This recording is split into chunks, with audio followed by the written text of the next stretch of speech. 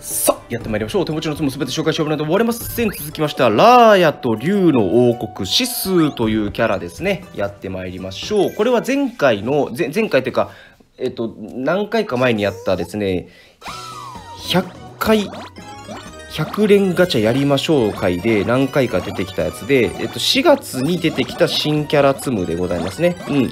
ラーヤも出しているので、えっと、ラーヤもね、またあのこれ以降のパートでね、えーと、しっかりと紹介していきたいと思います。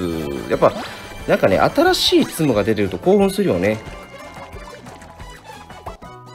ほー、なんか新しい消し方ですね。へー。言葉が出ない。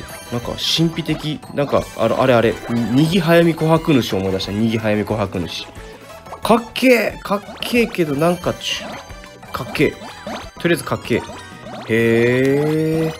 これも、あれだよね、さ、ピクサーかなんかの新作品ですよね。これ、ラーヤと竜の王国か。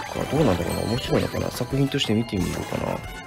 これはあれだね、なんか水ポケモンですよね。うん。どっちかっていうと、ラティオス、ラティアスか、それかもしくは、あの、スイ君。まあ、その、スイ君とラティオスが合体したみたいな感じだね。うん全然伝わんないと思うけど。多分今時の子なんかって、スイ君、ライコ、エンティとか、それからまあ、ラティオス、ラティアスとかって言ってもわかんないんだろうなもう、そもそも、まあ、僕はもうダイヤモンドパール、それからプラチナあたりで終わったんで、ギラティナとかね、そこら辺もわかる人いますかねうん。なんでつむつむやってんのにポケモンの話が出てんだろうね。いや、でもなんかポケモンっぽいよね、なんかこのフォルムね。うん。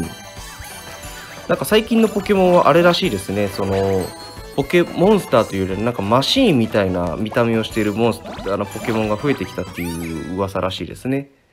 もう離れてこの方10年以上になっちゃうんであれですけど。はい。ということでにぎはやみ琥珀主ならぬ指数でございました。ということでまた次回お会いしましょう。バイバイ。